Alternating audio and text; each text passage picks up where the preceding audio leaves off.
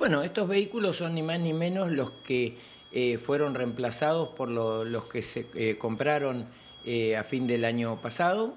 la renovación de flota implicó dejar de utilizar algunos vehículos que ya estaban con, con, mucho uso, además de algunos de que ya estaban, digamos, parados desde antes.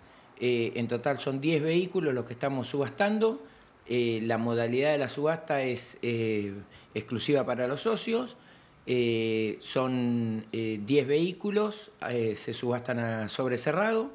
En ese sobre, en la parte interior, hay que poner una identificación del vehículo, que puede ser el número de móvil o el número de patente. puede, ahí mismo tienen que poner el monto y la forma de pago.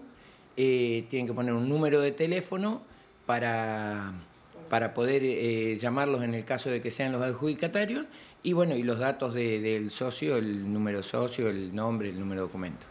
Eh, es importante aclarar que estos vehículos, en el caso de, ser adjudicados, eh, se les va a avisar y eh, deben ser transferidos para poder ser retirados de, de Servicop. hay algunos que están en funcionamiento, otros que no.